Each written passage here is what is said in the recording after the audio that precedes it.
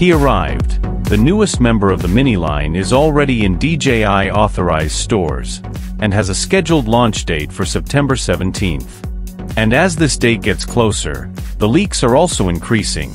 That's why I decided to make this video summarizing the main highlights that appeared in these posts. Let's start by talking about the combos and their respective prices. And the good news is that DJI will adopt an aggressive pricing strategy, and although this drone is more modern and has more functions and accessories, it will launch these combos with prices very similar to those of the Mini 4 Pro. In other words, the Mini 4 Pro will probably be sold at a discount soon, because it will not make sense to buy an older model for the same price as a current launch, which is more modern and powerful. The Mini 5 Pro will be sold in four versions. The first is the most complete Fly More combo, which will have the RC2 controller, with screen, and 3 plus batteries. The second Flymore combo will also have the RC2 controller and 3 batteries, but they will be the standard model. The third Flymore combo is the more affordable it will have the RC N3 controller, without screen, and 3 standard batteries. And the last one is not a Flymore combo, it will only have the drone with one standard battery and the RCN3 controller. Now let's see the items of each combo and their respective prices. Let's start with the most complete Flymore combo, with the RC2 controller and plus battery. The drone seems to be the same for all combos, as we haven't had any information that it will have different versions, as was the case with the Mavic Creator, which is a differentiated drone that comes with more internal memory. It is also possible to see that this drone will have a large gimbal protector, which will cover the entire front of the drone and will attach to the rear part, also holding the propellers. And here we have a sequence of equipment that will apparently be the same as the previous models, starting with the RC2 controller. This is excellent news, because DJI has a long tradition of incompatibility between equipment from previous versions. But now it seems that, fortunately, they made the right decision, as this controller is very practical and powerful. It uses O4 technology, which is very reliable and has a range of 20 kilometers, in addition to being compatible with other previous models. We also had another unexpected surprise. The batteries and the intelligent charger have exactly the same shape as the Mini 4 Pro, Mini 3 Pro, and Mini 3. We don't know if this equipment will be fully compatible with each other, but physically they seem to be the same, and this will make a lot of people happy.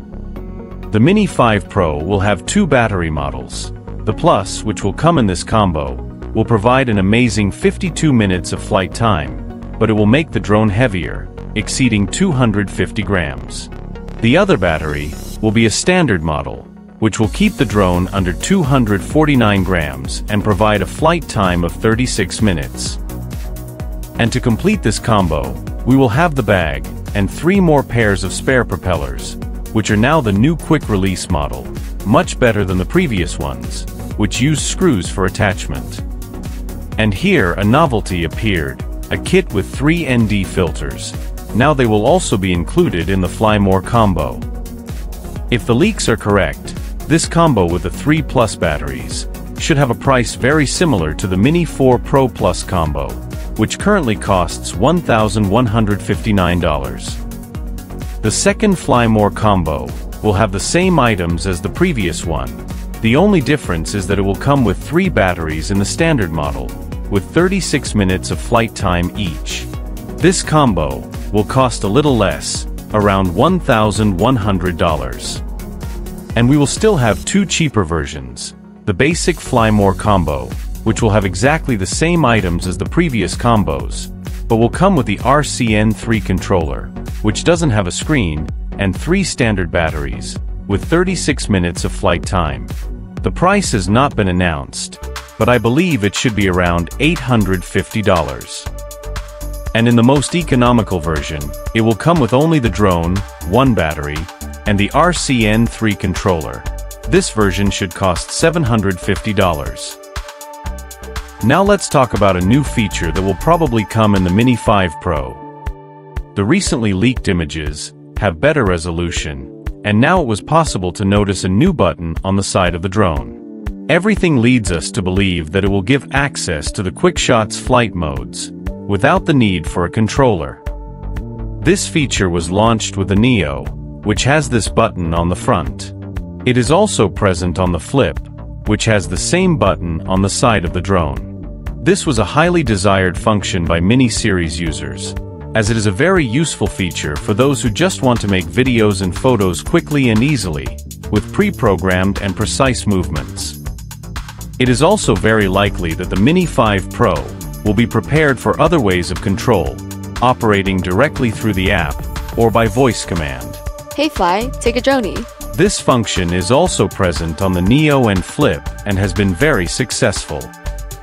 This leak was also interesting, it is a table comparing the main specifications of the Mini 4 Pro with those of the Mini 5 Pro. Let's see the main highlights. The 1-inch sensor of the Mini 5 Pro will have approximately 20 megapixels.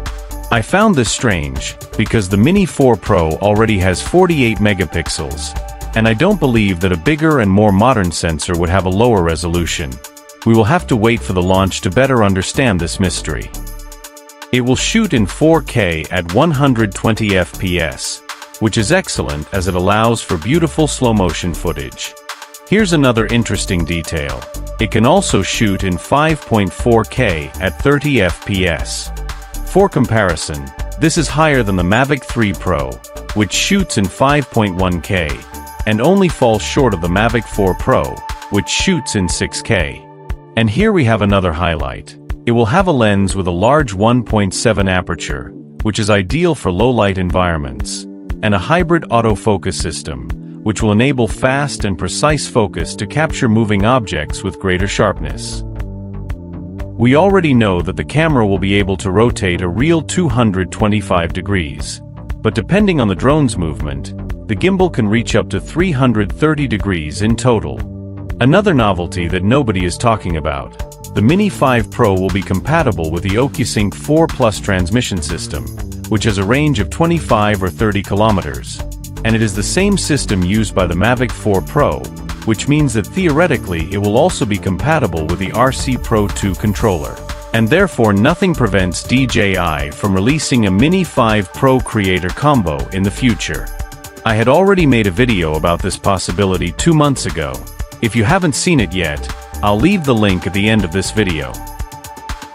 We also had this leak with the release of the prices of the Mini 5 Pro accessories, and the prices were surprising, as some items are cheaper than those of the Mini 4 Pro. The standard battery will be sold for $69. The Plus battery will be sold for $99. The charger will cost $49. A spare propeller kit will cost $19. The propellers with guards will cost $69, and the ND filter set will cost $55. From this list, the only item that will not come in any combo is the propellers with integrated guards.